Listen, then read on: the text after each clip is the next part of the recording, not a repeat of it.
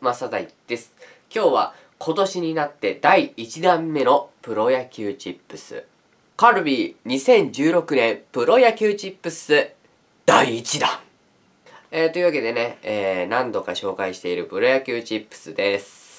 えー、前回のね、あの、プロ野球チップスで、えー、キラカード確定の回はですね、えー、ちょうど、えー、清原がね、捕まった時事ネタだったんですけど、えー、今回のプロ野球チップスも時事ネタありますよそう掛け声でなんかお金を振り分けたり、えー、もらったりする、なんか、祝儀的な問題。いかんね。うん。なんか、勝ったら5000円だっけ？で、負けたら1000円あげるっていうやつだっけ？なんか掛け声のやつがさ。いかんね。うん。あんなんでモチベーション上げられたら困りますよ。っていう時事ネタ。えー、そして今回の2016年のプロ野球チップス。何かが違いますね。皆さん気づいてます？袋がさ、ちょっとおかしくない？普段のポテトチップスってさ、あの、ここからこう開けるじゃん。そのなんか、後ろについてる、あのー、着ぐるみのチャック的な、ゆるキャラのチャック的なやつがさ、ここにあるんだよ。表紙にあるんだよ。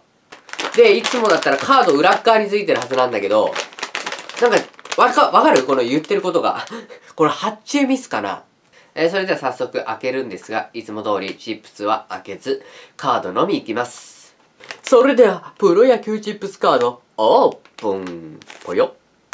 一つ目。一つ目、ノーマルカード。中日の大島選手、阪神タイガース、能見選手。それではプロ野球チップスカード、オープン。第1球投げたぽよラスト、阪神タイガース、ゴメス。そして、ヤクルトスワローズ、雄平。えー、というわけでね、えー、今回ノーマルカード4枚です。まあ、こういう時もあるよな。